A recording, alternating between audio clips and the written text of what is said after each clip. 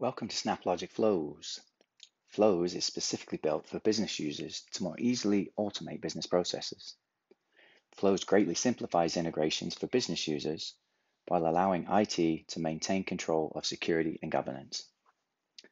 When you log into Flows for the first time, uh, you're taken to the home page, which is where you can see the flows that you have recently edited, as well as your recent executions. If you are logging in for the first time, uh, you will see a couple of sample flows that will help aid you to start building your own flows. To build a new flow, click on the New Flow button in the top right-hand corner.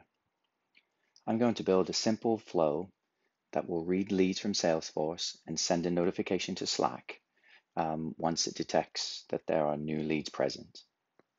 When you click on the button, you are asked to fill in the details.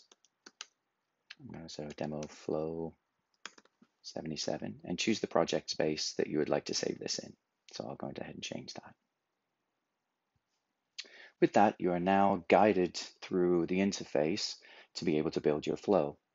On the left-hand side here, uh, you are presented with the preview, which shows you the various steps within the flow.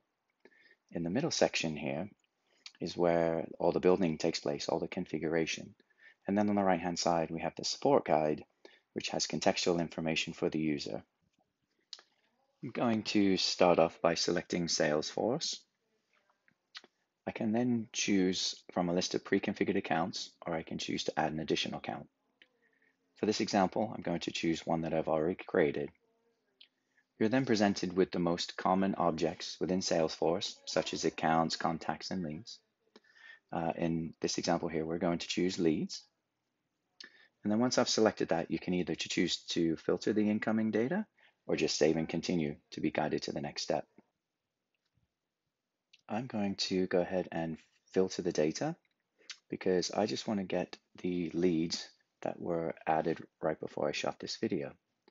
So the way that I will do that is I will come into what is called the data wrangler. I will then choose the column I want. So in this case, I want created, uh, created date. And then a nice easy way to be able to um, choose the date. So I want anything greater than today. So 2021 08 10. I simply hit apply filter.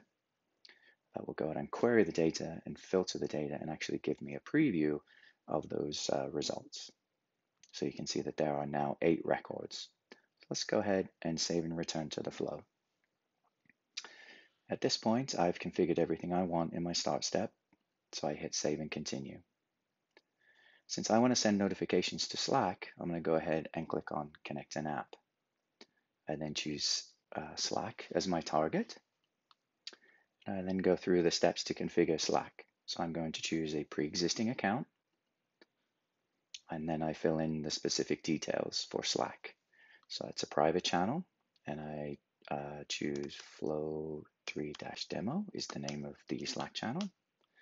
And then I'm going to create the message. And you can see this is very easy to be able to create some uh, natural language as well as choose data from the incoming source. So let's just compose our message. We say testing, and then I want to say first name. So I'm then shown the column from the input input document and the data type. In this case, it's a string. So first name, and then let's do last name and then also from, and then let's do the lead source. At that point, I've composed my message, so go ahead and hit save and continue. If I go ahead and manually run this and then jump over to Slack, what, you what you'll see is the messages getting posted to Slack. I hope this video shows you how easy it is to automate business processes without writing a single line of code. Thank you for watching this video.